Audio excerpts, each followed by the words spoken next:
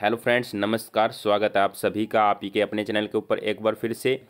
NEET व JEE का exam postpone होगा या नहीं होगा, आज कोर्ट में हियरिंग चल रही है, जहाँ पर सीबीएसई के ऊपर फैसला आना है। तो दोस्तों, आपको इस वीडियो में फुल डिटेल देंगे, साथ में क्या फैसला आ सकता है वो भी बताएँगे। और दोस्तों, कैसे आप केस स्टेटस चेक कर सकते हैं, वो भी आपको बता देंगे। आपको जो है, किसी का इंतज़ार नहीं करना पड़ेगा, आप जो है खुद घर पर बैठकर सारी की सारी ऑनलाइन प्रक्रिया जान सकेंगे क्या चल रहा है कोर्ट में। तो दोस्तों, उससे पहले अगर आपने हमारे चैनल को अभी तक सब्सक्राइब नहीं किया है तो अभी की अभी सब्सक्राइब कर लें। उसके बाद बेल बटन को ज़रूर दबा दें ताकि हम जैसे भी कोई नई वीडियो डालें तो आपके पास नोटिफिकेशन आ जाए और आप उस वीडियो को देख पाएँ। तो चलिए, सबसे पहले तो मैं आपको यही दिखा देता हूँ कि केस जो है, केस नंबर क्या है और किस प्रकार आप चेक कर सकते हैं। तो यहाँ पर आप देख सकते हैं दोस्तों, केस नंबर है हमारा पाँच सौ छियासठ ईयर ट्वेंटी ट्वेंटी यहाँ से सबमिट करने के बाद आपको कुछ ऐसा सरफेस दिखाई देगा, जहाँ पर लिखा हुआ है कि Amit Batla versus central board of school education ये केस है।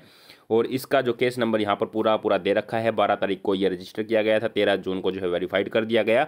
और यहाँ पर जो है इसका स्टेटस आप देखेंगे तो यहाँ पर आया पेंडिंग मतलब कि मोशन हियरिंग फ्रेश एग्ज़ाम जो हियरिंग डेट है वो आ गई है पच्चीस जून, जो पहले थी तेईस जून. तो दोस्तों आप यहाँ पर देख सकते हैं, ये जो है पैटिशनर हैं, जितने भी यहाँ पर लगाए जो हुए हैं. और उसके बाद दोस्तों मैं आपको यहाँ पर दिखाता हूँ कि आपका जो है अभी अकेडमिक मैटर्स को लेकर मैटर रिलेटिंग टू एग्जामिनेशन को लेकर ये केस है।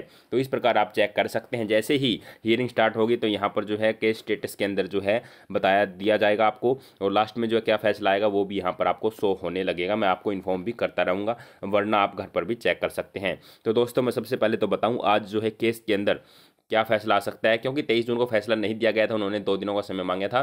तो आज जो है फैसला आने के चांसेस जो है वो हंड्रेड परसेंट हैं। तो आज जो है सबसे ज़्यादा डिमांड है, जैसे कि पेरेंट्स की, कि एग्ज़ाम को जो है कैंसिल किया जाए। जो बच्चे हुए एग्ज़ाम हैं तो उनको कैंसिल किए जाने की उम्मीद पूरी पूरी जताई जा रही है। सोर्सेज से यही पता लग रहा है कि आपके एग्ज़ाम सी के जो बच्चे हुए हैं, उनको कैंसिल कर दिया जाएगा। इंटरनल असेसमेंट और प्रैक्टिकल एग्ज़ाम के थ्रू जो है आपके मार्क्स दिए जाएँगे। लेकिन जो स्टूडेंट्स आते हैं कि उनको इम्प्रूवमेंट की ज़रूरत है तो वो बाद में एग्ज़ाम दे पाएँगे जब जैसे ही कोविड नाइन्टीन केसेज जो है कंट्रोल में आ जाएँगे। इससे दोस्तों क्या फ़र्क पड़ेगा कि अगर कैंसिल एग्ज़ाम हो जाते हैं सीबीएसई के तो नीट व जेई के एग्ज़ाम भी कैंसिल ज़रूर हो जाएँगे। ये बात जो है पहले ही एनटीए बोल चुकी है। ऐसा इसलिए है दोस्तों क्योंकि जितने भी आपके एंट्रांस एग्ज़ाम हैं और जो है कम्पिटिटिव एग्ज़ाम है, उन सभी को जो है पोस्टपोन कर दिया गया है तो आपके नीट व जेई एग्ज़ाम को भी पोस्टपोन ज़रूर किया जाएगा। सिर्फ़ और सिर्फ़ आज हमें ये फैसला चाहिए है कि कैंसिल सीबीएसई के एग्ज़ाम हो जाते हैं। तो फिर हमें संतुष्टि मिल जाएगी कि नीट व जेई के एग्ज़ाम भी कैंसिल ज़रूर होंगे। और नीट व जेई के ऊपर आज फैसला आना ज़रूरी नहीं है, क्योंकि आज मेन जो सिस्टम है वो है कैंसिल सीबीएसई एग्ज़ाम। इसी के ऊपर फैसला आ सकता है, चांसेस इसी के हैं। बाकी हो सकता है कि नीट जेई पर भी फैसला आज ही दे दिया जाए, लेकिन ऐसा लग रहा है कि नीट व जेई का फैसला अट्ठाईस जून को, जब एचआरडी मिनिस्टर जो है डॉक्टर रमेश पोखरियाल निशंक जी जब आएँगे या स्टूडेंट्स के साथ वेबिनार करेंगे, उस समय आ सकता है।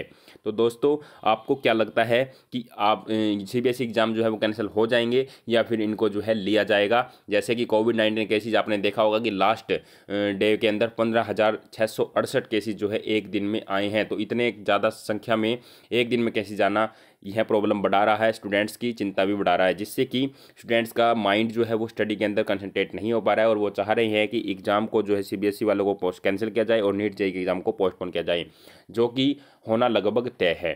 तो इसके बारे में आप ज़्यादा चिंता न करें, अपनी पढ़ाई पर लगे रहें, आपका एग्ज़ाम पोस्टपोन ज़रूर हो जाएगा और आज का फैसले का वेट करें, हम आपको टाइम से इन्फॉर्म भी करते रहेंगे। दोस्तों, इस वीडियो को देखने के लिए आपका बहुत बहुत धन्यवाद। Thank you